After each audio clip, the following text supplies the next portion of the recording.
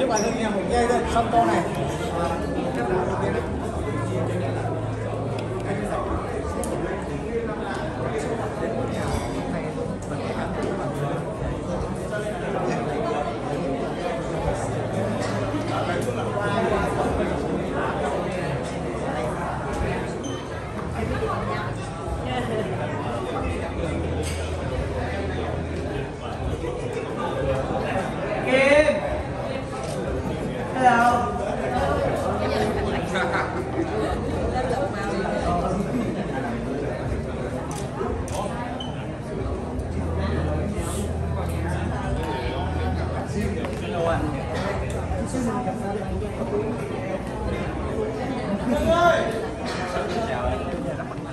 Hai tiếng. Lặp lại nha mấy em, lặp lại nha. Đừng uống vô nha.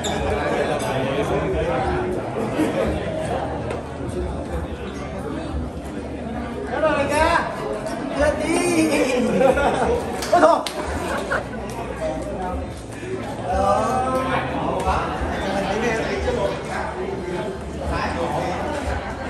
Chụp cái này không có thấy hết đâu, tiên ơi Thấy hết không? Cái tạo dáng sao thấy hết đồ mà đẹp mình đó nha. Thấy hết. Đau đầu quá. Rồi. Chút xíu mình trả lời sau nha, sau nha. Kim ơi Chào ca Để Thanh Thảo chụp chân Cảm ơn Thảo lên dưới Ô, búp bê Mọi người ơi, chụp chân đi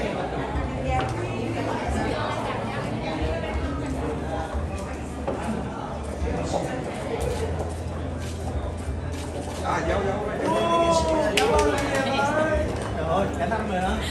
Năm mấy rồi đó.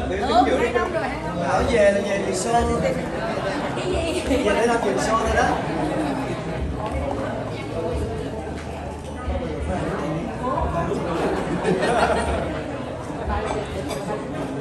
À, bắn tim hả? Bắn tim Nói trời nhà báo luôn nha Nướng thì được như vậy Tin hot quá Tin ơi. Rồi, cảm ơn cả nhà. Rồi, cảm ơn, cảm ơn.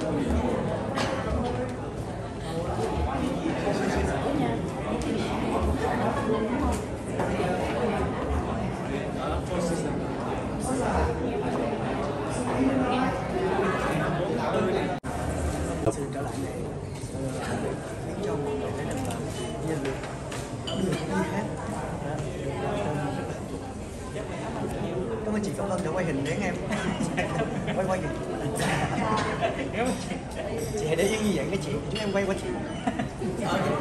Sắp chết cho mọi người nhé Chụp lén nữa tôi nói là tôi đang quay lại cái bên đây tôi quay cái hai cái mười ngón tay thôi. Mười mười ngón tay Có gì đó. quay chị ơi, cái gì thôi mà Biết gì không? Thì ở trong dạng nguyệt thì Vũ chỉ có hai mức giá thôi. Một là 20 triệu và hai là một cặp 100 triệu. À, nhưng mà Vũ có một người anh đã có ý nói là em em phải làm nhiều mức giá lên để cho mọi người có cái sự phấn khích chứ. À, người ta sẽ thích có cái sự lựa chọn. À, cho nên là Vũ đã tăng thêm những cái mức giá khác nhau. Và dĩ nhiên sẽ có một mức giá còn cao hơn nữa nhưng mà cái đó là dành cho những nhà tài trợ những à, người mà Vũ uh, rất là gần gũi. Dạ vâng, em nghĩ là lần trước là anh Hưng đã bút cái mắt nhất rồi. Đúng không anh Hưng? Dạ cảm ơn cho ca sĩ Đàm Vĩnh Hưng. Anh Hưng. Dạ. Anh Hưng mời anh Hưng lên đây nói một vài điều ờ, với với Tinh được không? Đừng nói xấu nha. Thấy khuôn mặt là biết là chuẩn bị. Xin chào mọi người. À, Mặc dù là Vũ ờ, vừa mới cảnh báo thức thiệt nhưng mà Hưng đã mất công sẵn rồi.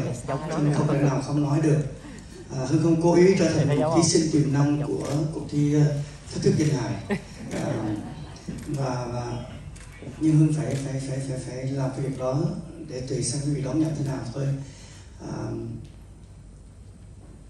trước khi tới đây thì Hưng vẫn khẳng định mình là à, ca sĩ hiền lành nhất showbiz Dạ, chứ đây. Là, là, à, nhưng khi tới đây tới nơi rồi thì à, con người thật Đàm Vĩnh Hưng đã trỗi dậy. Và tôi quyết tâm à, để làm cái việc này cho bằng được. Điều này đi chưa làm với bất kỳ một showbiz nào một bầu show nào hay một nhà tổ chức nào một ca sĩ nào. À, tôi quyết định đòi nợ cho chị Vũ ngay tại đây. Chưa Rồi. cái show lần trước chưa trả tiền. Thì không có cái mô nào giống mô nào. Đã trả tiền mà vẫn còn lết xác tới tôi nghĩ thôi kệ. Mình tới mình đòi đi có đám đông có báo chí. Thì có thể nó nể nó trả mình. Rồi nên bây giờ em chuyển khoản liền ngay tại chỗ cho nó được. Không? có nếu không có những nơi này thì nó có chịu khoản hay không. À, cho nên là tôi đã có một cái cơ hội rất tốt đẹp. Tại vì tôi còn con cái mẹ già được các kiểu dạ, nhiều thứ chi lắm. Mà bạn cứ như vậy hoài. À chưa kể mọi người có coi cảnh hồi nãy không? Đó. Hai bộ đồ cái tôi chúng nó nữa đó không tính bằng bạc nào hết. Mà tiền hát cũng không tiền resort cũng tự móc ra trả tất cả mọi thứ. Đừng nói cho ở cũng hồng coi nhất nha. Ủa vậy hả? Là tiền của con đó cha. Mọi người có theo dõi livestream gần đây không? Anh Hưng mỗi ngày là bán cả mấy ngàn đơn hàng. Trời ơi, nhà không có gì ngoài tiền mà còn đòi tiền nữa là sao? dịch quá mà em trời. Rồi vẫn chơi. Tí xíu có nghĩa là đã thành công rồi mọi người đã cười được xíu rồi. Dạ muốn hỏi gì à, ý là lần này sao anh? Ờ, cậu với mẹ rồi. Thì bây giờ lên lên đây đòi tiền quá thì trả hay không tính sao? Rồi bây giờ mình quay lại tới cái live show thứ hai nè anh nghĩ là anh sẽ ở cái phòng nhiêu nè? Đó. À, tôi có ờ, một cái tin nhắn hôm qua là ban tổ chức phải chịu trách nhiệm ờ, cho tôi hai phòng. Dạ. Dạ tại vì cái gia đình của Hương Điên là bốn phòng lần Đó, cho nên là là là ờ, để coi. Thôi bây giờ cho Hưng 4 phòng luôn trừ nợ đó Đúng không ạ? À, lỗ anh ơi lỗ rồi. Lê có nhiều tiền luôn nhanh thế bao nhiêu tiền mà thì hát của tôi bao nhiêu cô biết không? Thôi rồi bây giờ à, chắc chắn là sẽ là một cái phòng à, à, gần Mắc biển nhất. nhất. À, gần biển nhất dù mắc hay là rẻ mình chưa biết. Cũng phải tùy vào cái cái khả năng à, chốt đơn của mình. Từ ngày đến ngày đó nó nó được bao nhiêu thì mình chọn cái phòng như vậy. À, gần hai ba phòng gần nhau. Với gia đình à, và Hưng nghĩ rằng là nó vừa phải nhất cái biển sông mà nó còn trừ ra được cũng ngọn tiền đem về. Vâng ạ. À, cái đó là thôi về phòng ốc đi. Bây giờ mình nói về cái ờ, chất lượng âm nhạc đi anh. Tại vì lần trước thật sự phải nói là một cái album về biển quá là đẹp quá là ngọt ngào và cảm xúc. Thế lần này thì ờ, xuân hạ thu đông có bốn mùa khác nhau luôn. Thì không biết là anh đã dự định dự tính ở trong đầu về cái kế hoạch bài hát của anh chưa? À, show trước. Với show này Hưng hoàn toàn không can thiệp bất kỳ một à, dấu phẩy nhỏ nào hay một cái cành hoa một cái ngọn đèn không thể can thiệp à, đó là sự tôn trọng tuyệt đối dành cho vũ về ekip à, nguyên cộng sự của mình. À, vì khi mà mình áp đặt cái suy nghĩ của mình vào đó họ có thể nể và làm theo và nó vô tình biến cái màu sắc của đào nương lại lãng mạn. Cái đó như một cái âm hồn. Kỳ lắm. Nó không nên cho nên là hưng hưng quyết định không bao giờ có ý kiến gì về cái show này cả. Thậm chí ngay cái bài vở mà vũ uh, sắp sửa chọn để hát như thế nào thì cũng để cho vũ quyết định một trăm phần trăm. À, mình chỉ làm theo thôi đó là một người à, đến đánh thuê chuyên nghiệp. À, chung là như vậy. À, mặc dù là tới này vẫn chưa nhận được lương ức lắm ức nên là là Nè em em nói nha, có thể anh nói điều này về người khác thì người ta sẽ quê Nhưng mà anh nói sao em không thấy quê chút nào luôn á. Mà không có xuống sắc miếng nào luôn anh ơi à, Cái sẵn đây quỳnh luôn cho rồi đây là lỡ ai cũng biết rồi bây giờ. Có ý thì con không biết luôn ngay lúc này có thể là chưa đâu nhưng mà tối nay hoặc ngày mai báo lên rần rần đó. Nó sẽ biết à, mình sẽ trốn đi đâu. Sửa bài cho anh nhé cứ chịu chỉnh bài lại. Nó sẽ biết. À, chưa đâu tôi còn sẽ đăng livestream và status đòi nợ nữa. Cho tới khi nào lấy được thì thôi. Không anh không biết gì không? Em chưa bao giờ mắc nợ ai trong đời. Em chỉ là mượn mà chưa trả thôi. Nhưng những bộ đồ mà anh Hưng đưa Em không phải là lấy nha Hoặc cũng không xin nha. Em chỉ mượn mà quên trả thôi còn cái lương này thì cũng là đâu phải là không trả đâu tại vì nhà cũng có điều kiện mà. Nhưng mà tại vì mình nghĩ thôi người thân rồi thôi mình từ từ xong mình quên mất tiêu bây giờ nhắc thì nhớ thì thôi trả.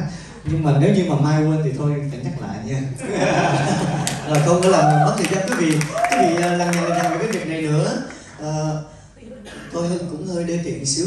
À, nếu như vậy thì à, à, hưng xin mời Dương Chị Vũ vào những cái live show sắp tới của hưng. Đó chính đây mà mình đê tiện cái xíu mình PR luôn cái PR lên Đó, được. Anh. số hưng nó vào tháng 8 rồi nên vào tháng 8 à, số tháng 8 thì có mời à, vòng vòng rất là nhiều anh chị em nghệ sĩ chứ là tháng 8 mình sẽ gặp nói chuyện họp báo tháng 6 sau. Bây giờ thì tập trung. Anh Hưng nhớ làm bốn cái nha để em hát bốn cái luôn trừ bốn cái sau này. Tám lần. Ủa gì hả? Mười. ồ. Chị Hồng đã lên tiếng 10 cái luôn mọi người ơi vậy ủa vậy em bị lỗ hả được cái gì chứ? Lỗi cho anh Hưng thì em chịu hết á. Trời ơi sao lỗ được luôn của tôi luôn? Ủa mà tự nhiên em từ quỵt nợ cho bây giờ em thành bị em là người chịu Vâng. lỗ luôn hay vậy ta?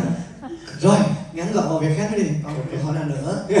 Dạ thì hỏi về show rồi hỏi về âm nhạc thì rồi ờ, anh sẽ nói tiếp. Dạ. À, đây là một cái nơi hưng cảm thấy rất là háo hức để tới. Vì rằng là nghe nghe danh từ rất lâu. Thậm chí khi ở mỹ đã từng ở Four Seasons một lần. À, và đi ngang tất cả những thành phố lớn đều thấy Four Seasons à, cho nên là đó như là một cái một cái ước mơ à, thậm chí cho cả người giàu. À, một lần được đặt chân đến để coi cái bên trong có cái gì mà nó ghê gớm như vậy. Thậm chí có rất là nhiều những cái điều kiện khắc nghiệt và khó khăn à, từ nơi đó để đón nhận một à, người khách tới. Nó có những cái điều kiện nó nó, nó hơi hơi hơi chậm. À, mình xem thử cái họ họ yêu cầu cái gì mà ghê gớm thế. À, một món nó cũng muốn đặt chân tới. Và để xem thử một lần nữa à, đạo diễn của Tâm cũng như là Duy Vũ à, phải xây lên những ngọn núi à, nào cao hơn và đẹp hơn nữa hay không? À, đối với những gì là tạo ra từ Sixen à, à, Hưng à, thực sự là không phải là PR để kêu gọi mọi người tại vì là ở đây là báo chí và nghệ sĩ không à không phải khách hàng nhiều cho nên là mình không có mục đích đó. À, nhưng mà thật sự là có đấy.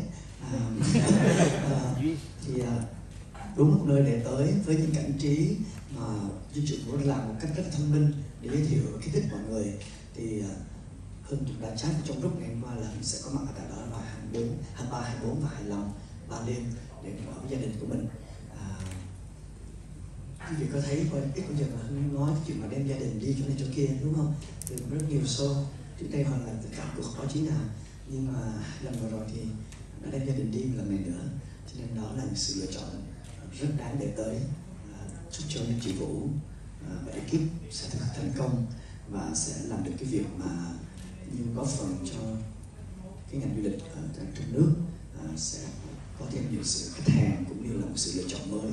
À, trước đây người ta đi nước ngoài nhiều nhưng mà gần như nước nào bây giờ cũng sẽ tăng cường và quảng bá ngành du lịch ở tại quốc gia của mình, Việt Nam mình cũng sẽ là một đất nước chứng tỏ là cái sự yêu thương gắn kết, chia sẻ và đoàn kết để cùng nhau đi lên là điều đó chưa bao giờ phai nhạt trong trái tim người Việt Nam và Vũ có một cái ờ, thông tin hết sức là đặc biệt nữa là tất cả những ờ, anh chị em phóng viên có mặt trong ngày hôm nay Vũ sẽ mời đến Four Seasons để mà xem show của Vũ được không ạ? Trời ơi, vỗ tay gì là nhỏ quá, nữa đó nhỏ quá. yeah.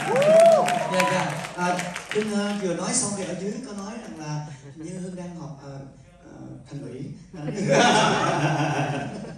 À, xin được cảm ơn anh Hưng rất là nhiều và hy vọng rằng với cái thông tin này thì các chị phóng viên báo chí cũng sẽ có rất là nhiều những câu hỏi tương tác trong buổi à, chiều tối ngày hôm nay dành cho anh Vũ và hỏi thêm càng nhiều càng tốt ạ.